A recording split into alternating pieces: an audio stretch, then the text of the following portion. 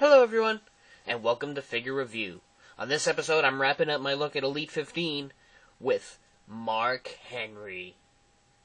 Uh, Mark Henry was the last figure I picked up in the set, and it's a pretty cool one. Uh, they've only done uh, two Elite Mark Henrys, this, of course, being the second one.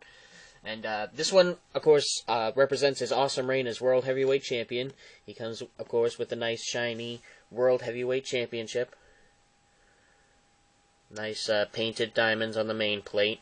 Uh, I think it's kind of a super cop out that they don't paint the diamonds on the or the rubies on the side plates, but I mean, at the same time, how lazy are you that you can't paint them yourself? But you know, I guess that's an eternal struggle question of who should paint the side plates. But overall, uh, I'm not really bitching. I enjoy it. And then, of course, we have big bad Mark Henry. Uh, he's got his pissed off, pissed off scan. Uh, nice red and black attire here. Uh, got the world's strongest stick figure with a barbell.